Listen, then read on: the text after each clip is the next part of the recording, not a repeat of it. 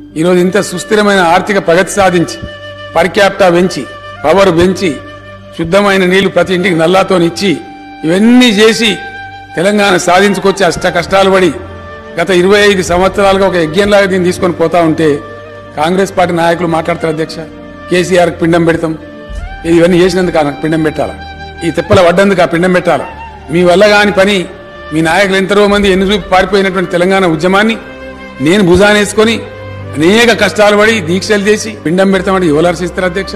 ఇదేనా సంస్కారం? ఇదో పద్ధతి ఇదో పార్టీ దీనికో లెక్కన? చాలా బాధ కలుగుతుంది అధ్యక్ష దుఃఖం వస్తుంది. ఎందుకంటే ఏందని నాకు అర్థం కాదు ఇది పూర్తి ఎటుపడతాడు నోరుంది కదా అని.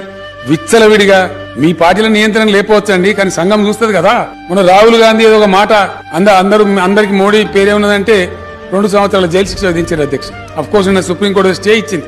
సభ్యత్వం కూడా తీసేసింది మేము ఆ చర్యలు తీసుకోలేమానండి? మేము తీసుకోకపోదుమా? మీరు ఏదో స్వేచ్ఛ కావాలి? స్వేచ్ఛ ఇచ్చినాం మేము. చాలా లిబరల్గా ఉంటున్నాం డెమోక్రాటిక్గా ఉంటున్నాం. అన్ని రకాలుగా బాగుంటున్నాం.